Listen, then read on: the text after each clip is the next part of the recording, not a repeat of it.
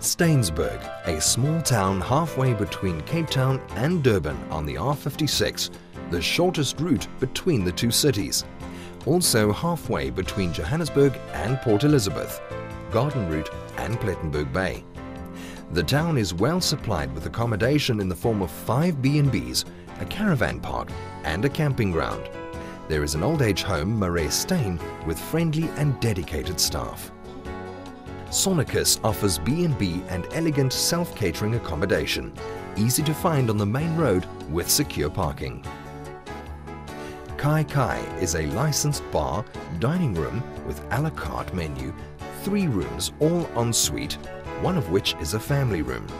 Easy access just off the main road with secure parking. The Lazy Lizard, licensed a la carte restaurant, beer garden, with two rooms en suite, two rooms sharing one bathroom, one of which is a family room, one lock-up garage and secure parking, one block off the main road, and it is pet friendly. Mautanro, homestay in a more than elegant private home, bed and breakfast supplied, vegetarian meals on request, meat meals to be arranged in advance.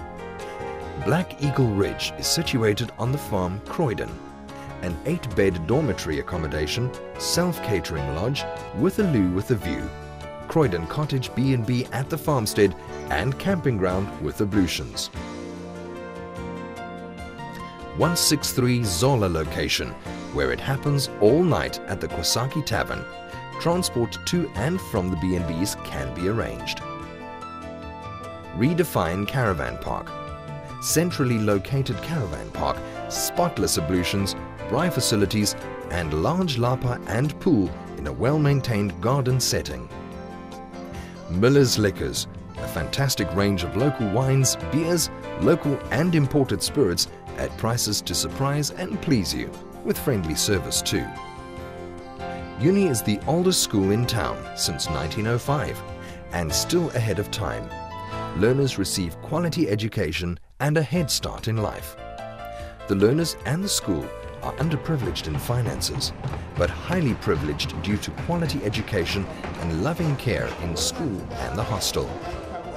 The total number of learners at the school is 175, of which 160 are from disadvantaged backgrounds.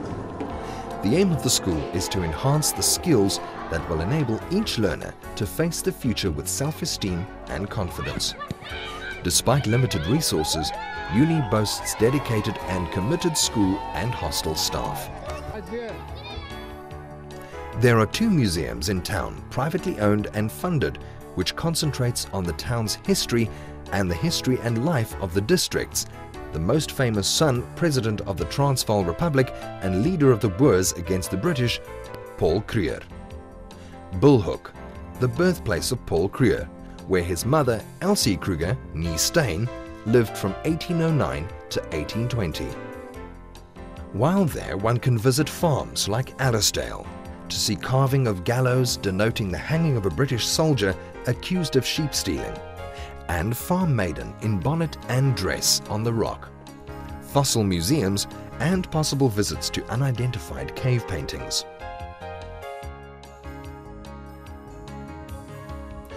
Also visit Springfield, district Skitnek Nguni cattle stud.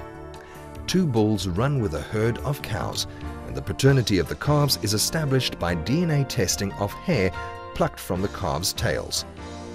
These cattle are unique as they will graze on karoo bush and scrub. Being indigenous, they are disease and parasite resistant. Also, their hides, when patterned, are mirror imaged down the spine. In the house, there is a war relic where snipers shot at Granny Wilkie, missed and hit the sideboard instead.